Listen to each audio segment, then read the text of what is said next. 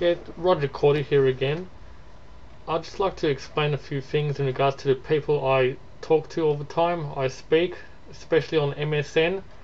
You know, I get a lot of people chatting to me, you know, signing up and, you know, adding me in, into their convos.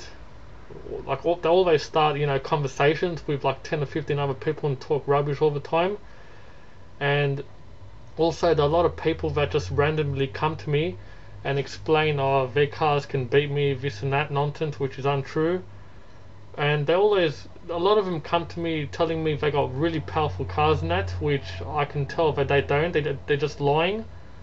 Well, it's really stupid, or actually, I, I find it funny because, you know, I talk to them, you know, when they explain stuff, they actually say things which are technically not correct. Like, for example, one bloke said he had a Daihatsu Applause that does 100 and 102 miles an hour and does 12.6 seconds down a quarter mile. That doesn't add up. So I knew straight away from that.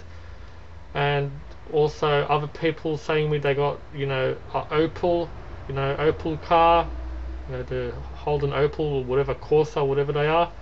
You know 16 valve twin cam. They think their car's are almighty quick. Well, it's not against mine.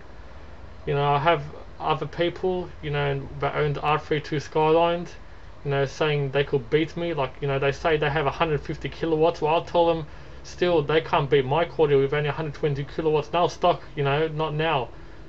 That's just one of them. But there is one person which, you know, I, to I totally found so funny. You know, I just played all along, you know, act as if I really did believe the person. And he's he's known round, his name is basically Too Tame and he has started off talking about you know how he's got a how he's going to get a Cordia, you know, a Cordia turbo like mine.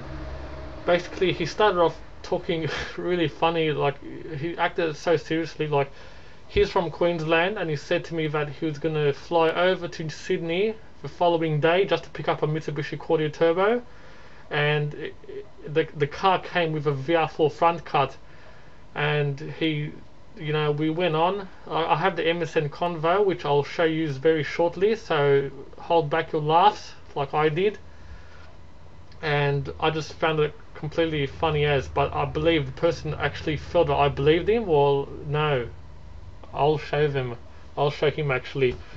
So yeah, he's got a Mitsubishi Colt 1.4 liter, and it does 10 seconds. He says that he spent forty thousand dollars on it. You know, there's no way I would ever believe that. You know, it's absolute nonsense. That's just only a few examples. Like I have people come telling me they have electric superchargers on their engines. I have, you know, so many other people 180SXs saying they could beat me or they have 200 kilowatts. Well, still, my 1.8 liter Cordia has beaten our 250 kilowatt VX VU V8 utes, you know, those Gen series engines. So kilowatts are nothing. Dyno numbers are nothing. Numbers are just numbers. It's at the track, at the drags. You know, that's where it all counts.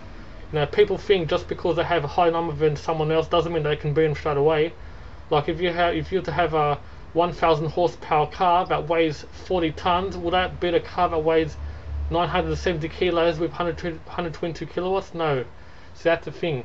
They just get brainwashed anyway, I can just leave with you um, a little convo which I had of Two Tame, you know, and his you know little story of getting a Cordia Turbo, which you know I never believed from the start. So you know, if I can tell you this right now, if Two Tame, if you can prove that you have a Cordia Turbo, I'll take off my I'll I'll take off my mask.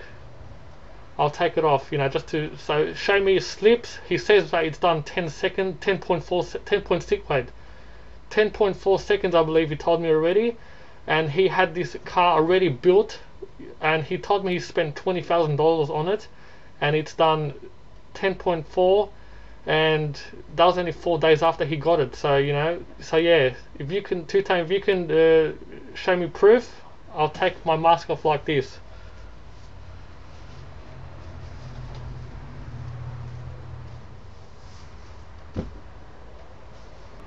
Right now I'm gonna run the convo that me and two time two